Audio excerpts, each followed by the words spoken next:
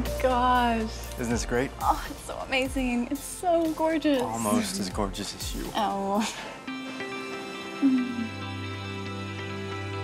Andrew, honey.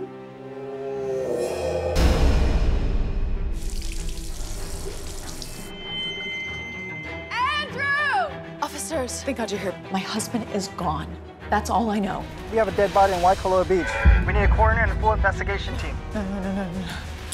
I didn't murder my husband. Please, I know my Miranda rights. I went to law One will school. be. You don't look at the type that ends up in prison. What's your story? How much time do you have? I do not remember anything from that night. We were celebrating our anniversary, and my husband was gone when I woke up, and then I was being accused of his murder. You gotta investigate that. They are. It's just gonna take too long. No, I mean you. You gotta do it yourself. Police ain't gonna help you out. Have you guys found anything? We're still waiting for the authorities to gather more evidence. But you've you've got like a private investigator, right? What for? To clear my name, Mom. Sweetheart, there's only so much we can do right now. Ah!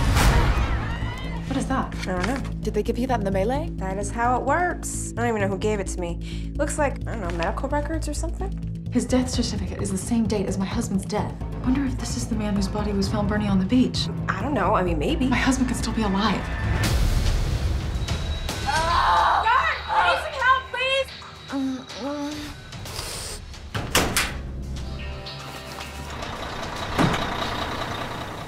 Dad, Maybe you, you should just go to the police. I have to find Andrew on my own. What if the dental records are wrong? This is the only lead I have to go on, and I, I have to try. Cash and credit cards in there.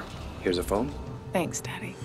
You were the one who found the dental records. How'd you pull that off? I have people that work in the crime lab in Kona. The body wasn't your husband's, and your husband still hasn't shown up. There has to be some evidence in that room. Do you think we could get inside? God, who are you?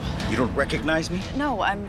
I'm sorry. I don't. You convicted me of murder 10 years ago. I did all of this for revenge, and you don't remember me. I'm sorry. I don't. He's coming. Get behind!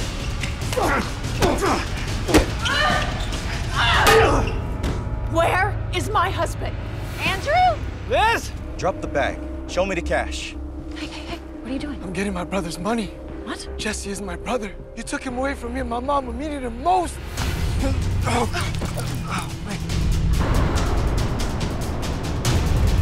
my God. No, no, no, no, no, no, no! I lost the best years of my life.